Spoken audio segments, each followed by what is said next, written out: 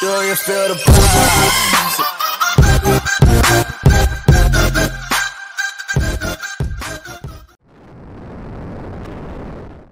What's going on, guys? So it's Friday the 22nd, uh, the day before the official Reefer Palooza event. Today is the actual setup day. Um, I do have the Diamond Pass, and I was supposed to be there today. However, that's just not going to happen. Um, I decided to work instead, and I will be there Saturday and Sunday. So tomorrow I plan on being there at around 7, 7.30. Uh, that's the plan at least. Um, I am working tonight until 11, so until 11:30 actually. So I'm not quite sure if I'll make it there for that time, but I will definitely aim for that. Now the event is about an hour and a half from me, so it's not too bad. I should be able to make it no problem.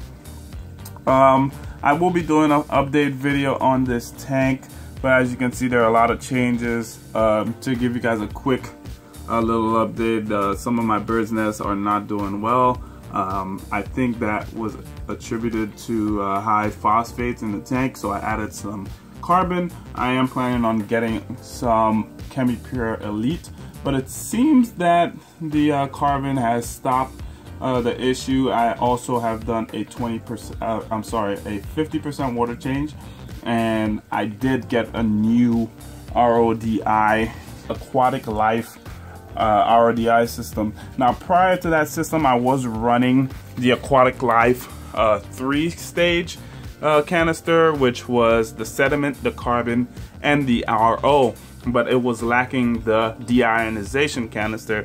So I ended up investing in getting a four canister system, which now contains the deionization canister. So everything seems to be doing well. I did follow the directions on there and I got I did a 50% water change on the tank and we're gonna see how everything makes out now moving forward I also purchased uh, this uh, Marineland uh, Refugium style uh, breeder box setup and that currently has three types of algae in there one on the left side is Caulerpa in the middle is Dragon's Breath and on the right is just microalgae so I'm going to be growing those things out for the meantime and just seeing how it works. I am using an Aquaneat light. So I'm gonna be giving you guys a full update on the tank.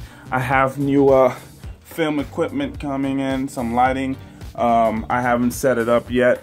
And I do have uh, some new testing equipment. I did do a ICP test uh, from ATI. So I have a, a, a very big update coming on this tank in the near future, probably looking at next week. But I just wanted to put something out today, um, being that is the day before Reefer Palooza. And I did say I was going to make it today and that I am unable to. So um, that's pretty much what's going on right now. I will see you guys tomorrow and Sunday at Reefer Palooza in New Jersey. So thank you guys for stopping by. I uh, hope you guys come out to Reefer Palooza. I'm looking forward to seeing you guys. Have a good one.